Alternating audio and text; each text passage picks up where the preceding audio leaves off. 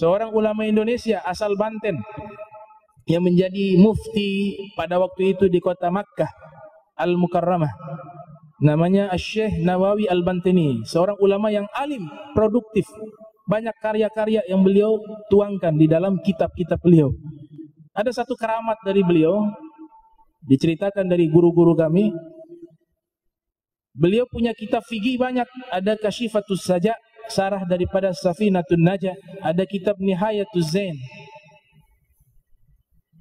Itu sunnah.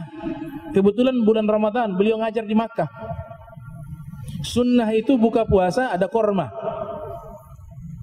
Beliau katakan, sang murid orang-orang Makkah bertanya kepada beliau, wahai syekh, buka puasa sunnahnya pakai kurma, didistribusikan dalam kitab-kitab yang engkau tulis. Kata syekh benar. Tapi di Indonesia kan tidak ada kurma. Dulu itu kan masih belum Indonesia, di Jawi, di Jawa. Saya sebutkan Jawa, Indonesia. Dan dulu memang sulit untuk berdagang kurma ke Indonesia tidak semudah sekarang sehingga sang murid mengatakan kalau di Arab sunnahnya pakai kurma ya jelas karena ada pohon kurma tapi kalau guru ketika di Jawa itu buka puasa pakai apa karena kurma tidak ada maka sang guru Syekh Nawawi Al-Bantini kebetulan waktu beliau lagi mengajar di samping jendela Beliau langsung bilang, oh biasanya saya ganti dengan satu buah di Indonesia, maksudnya di Jawa. Diambil dari jendela itu. Kemudian di ketika diambil, beliau tarik, seakan-akan ada pohon di situ. Rambutan. Pada waktu itu orang-orang Arab belum pernah lihat itu buah itu. Ini buah apa ini? Kayak berambut berambut. Makanya bahasa Arab sekarang ini nggak tahu ini sudah lama apa baru ya. Biasa di kosakata kosakata bahasa Arab itu rambutan kan namanya Abu Syur. Bapaknya rambut namanya. Karena dia buah seperti ada banyak rambut. Akhirnya dicontohkan sebentar lagi azan. Udah pas azan beliau ganti pakai rambutan. Ini di Indonesia saya biasa makan pakai ini rambutan. Murid-muridnya penasaran ini buah apa? Ditanya ini. Kata Syekh Nawawi ini namanya itu rambutan. Di Jawi namanya rambutan. Maka mereka penasaran. Habis buka puasa, mereka mau sholat, mereka lewat di belakang jendela, mau lihat pohonnya di mana karena tadi kelihatan lagi ambil. Ternyata mereka lewat di belakang jendela itu lihat tidak ada pohon, yang ada pohon korma. Kok ada buah rambut apa rambutan di situ? Dicari-cari. Kemudian seorang muridnya waktu berjalan beberapa tahun pernah pergi ke Jawa ke Banten.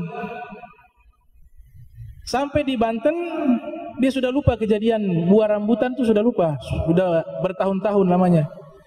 Sampai ke Banten mampir ke rumah Syekh Nawawi Banteni, silaturahmi ke orang tuanya atau saudaranya yang ada di sana. Ketika orang Makkah ini sampai di rumah Syekh Nawawi, dia lihat di depan rumah Syekh Nawawi ada pohon rambutan. Kemudian dia lihat, eh ini buahnya kayak pernah saya lihat di mana begitu dia lihat. Akhirnya dia yakini, oh ini buah yang dulu pernah dicontohkan oleh Syekh Nawawi Bantani. Datang ke rumah Syekh Nawawi bertanya kepada pemilik rumah, mungkin keluarganya Syekh Nawawi. Kemudian orang Makkah itu bertanya, itu buah apa di luar? Kata yang punya rumah, jauh-jauh hanya datang buah itu di luar. Hanya tanya buah yang di luar. Tidak, saya ini muridnya Syekh Nawawi Bantani, saya silaturahmi. Tapi itu buah pernah dulu beliau berikan kepada kami di Makkah. Pemilik rumah mengatakan di Makkah gak ada buah ini. Gak beliau ambil dari jendela. Kapan itu? Dia masih ingat tuh dia kira-kira disebutkan tahun sekian, jam sekian, kemudian waktu sekian. Maka waktu itu dicocokkan dengan waktu yang ada di Jawa. Dia bilang, oh waktu itu beliau ada di sini. Dan beliau yang perintahkan saya ambil buah rambutan. Kemudian berikan kepada saya. Berikan kepadaku. Maka ini namanya bab keramat.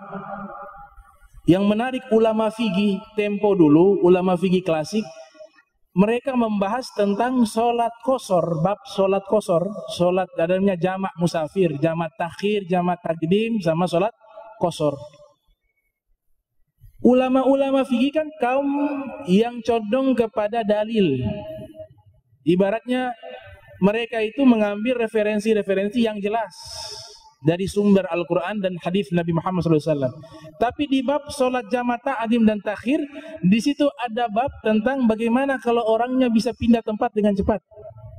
Dia punya solatnya bagaimana tuh jamaknya? Tahu-tahu sudah di Makkah pindah lagi ke sini. Itu mereka bahas dalam kitab fikih. Artinya hal itu ada bagi kalangan para aulia dan kaum solehin. Oleh sebab itu mudah-mudahan kita diberikan menjadi orang-orang yang mencintai para aulia para salihin sehingga kita mendapatkan syafaat mereka di yaumil kiamah dan syafaat Nabi Muhammad wasallam